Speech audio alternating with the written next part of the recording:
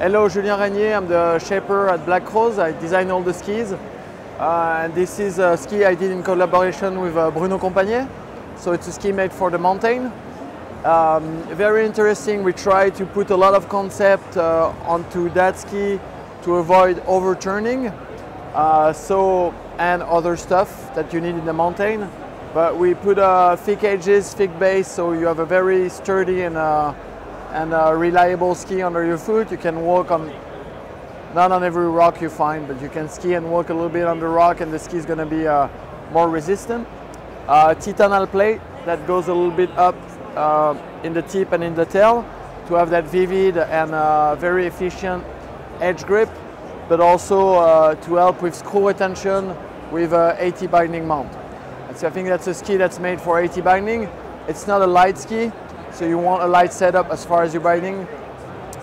It's not light because we wanted the ski to ski very well and have a, a very good feeling on the snow with that ski. Um, the, the radius is very important. When you ski the steep, you always have a, a great angle compared to the slope. The slope, you have a great angle. The more angle you have compared to your slope, the more the ski wants to bend. Uh, so we use a very long radius of 25 meter uh, in order to avoid the ski to bend too much. Because steep skiing, it's more about upturns and, uh, and uh, control slide than really carving. Um, so along with a stiff flex and, um, and a rocker and a rocker and a tip that doesn't go the end of the radius of the tip is going to be very progressive and it's going to stay the same. The ski will want to slide more than it wants to curve. Uh, so all that is to avoid overturning. Stiff, fle stiff flex throughout the ski, no progressive flex. Uh, same with the, the tail, it's stiff.